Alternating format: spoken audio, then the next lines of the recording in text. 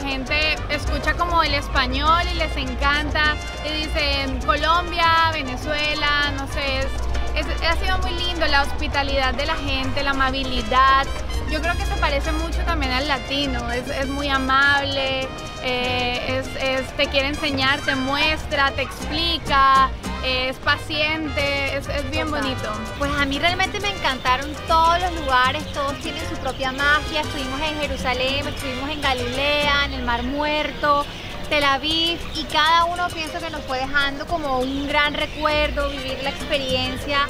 Eh, bueno, somos católicas, entonces nos sentimos más cerquita de Jesucristo, de todo lo que pasó en la historia creo que entender y por eso creo que conviven tan bien en Israel las tres religiones y creo que es porque se entienden la una a la otra y respetan los lugares y los momentos y los pedazos de historia sagrados para cada uno.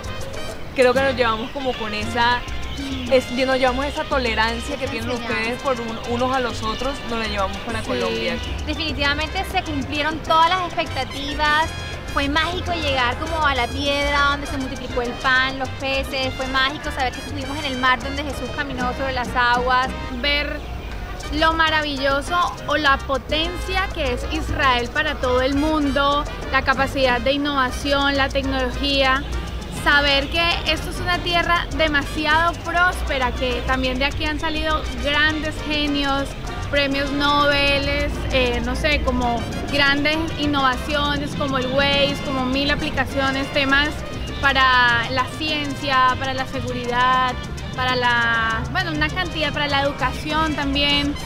Mejor dicho, realmente eso es asombroso. Y hay algo que me pareció muy interesante. No vi pobreza, vi mucha seguridad en las calles. Boker Shalom. Shalom.